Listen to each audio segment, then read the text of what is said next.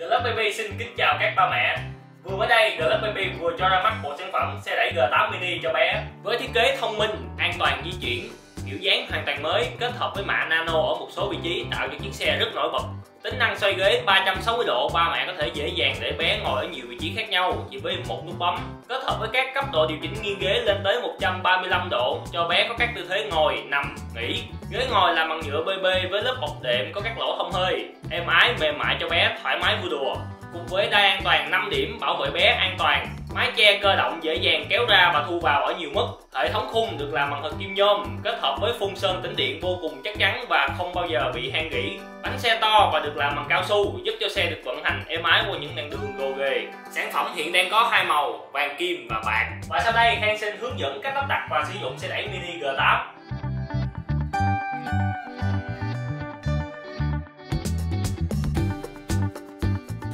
Đầu tiên, các ba mẹ mở thanh khóa trên cung xe bằng cách bật nhẹ ra.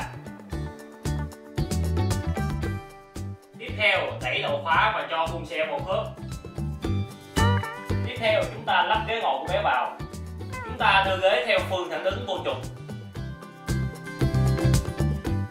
Dùng lực đẩy xuống và điều chỉnh sao cho nghe tiếng tắt. Tiếp theo, chúng ta sẽ lắp tay trắng vào cho bé bằng cách bấm vào hai đầu khóa và đưa tay trắng vào.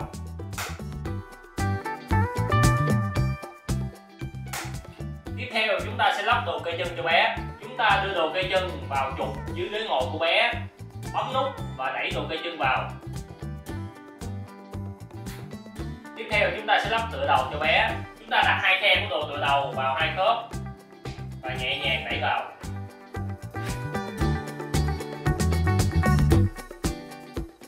Tiếp theo chúng ta lắp máy che vào.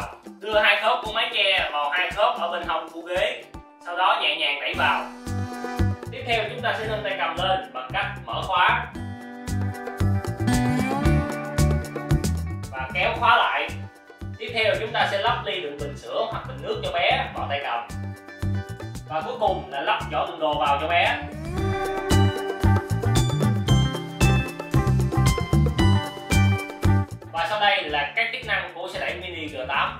Tiên là chức năng xoay 360 độ bằng cách đẩy khóa lên.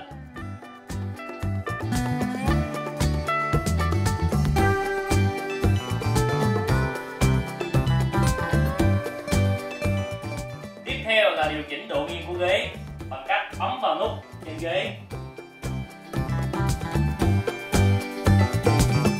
Khóa bánh xe bằng cách gạt đầu khóa xuống dưới.